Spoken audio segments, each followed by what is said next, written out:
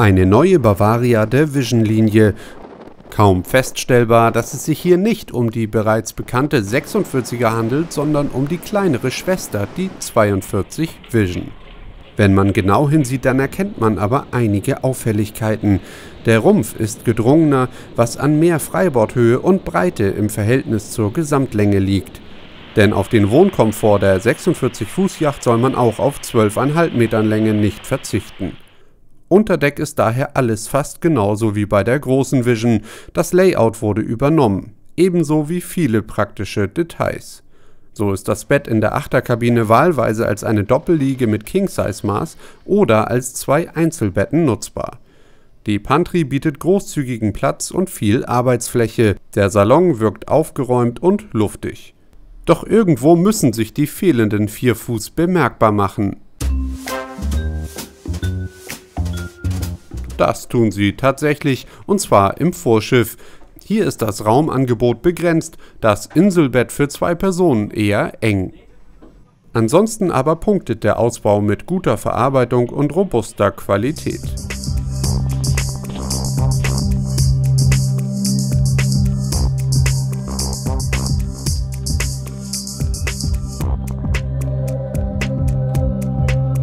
Wohnen lässt es sich auch auf 42 Fuß insgesamt also komfortabel. Doch wie sieht es bei dem 10 Tonnen schweren Fahrtenschiff mit der Segelleistung aus? Die Antwort? Gut. Seglerisch überzeugt die Giebelstädterin bei 4 bis 5 Windstärken mit fast schon sportlichem Temperament.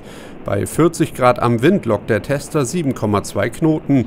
Mit dem Gennaker beschleunigt die 42er bis auf 8,8 Knoten.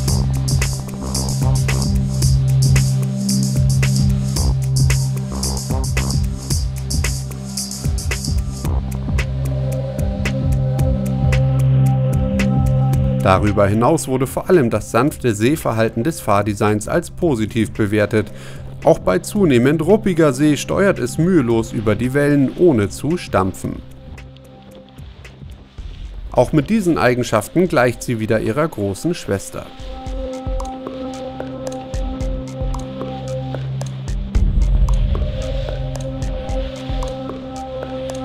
Die nahe Verwandtschaft zeigt sich auch an Deck.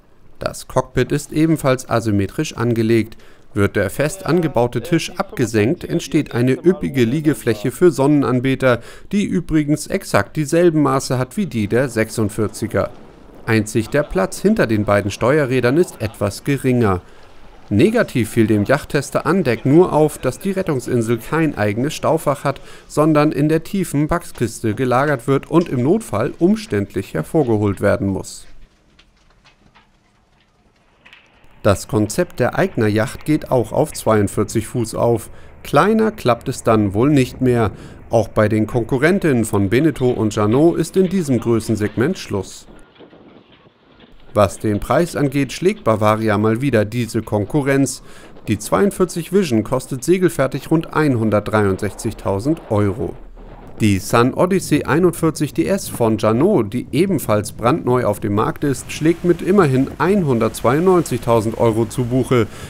Eine Differenz, die man bei Bavaria gut in die Assistenzsysteme investieren kann, denn wie sollte es auch anders sein? Trim und Dock Control hat nicht nur die große Schwester, sondern kann natürlich auch für die 42 geordert werden.